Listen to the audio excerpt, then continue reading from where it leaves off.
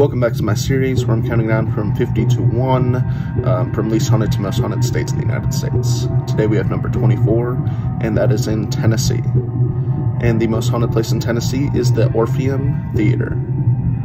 This theater was built in 1928, almost 100 years ago, and it currently has at least seven ghosts that reside there. Um, the most prominent is a 12 year old girl named Mary.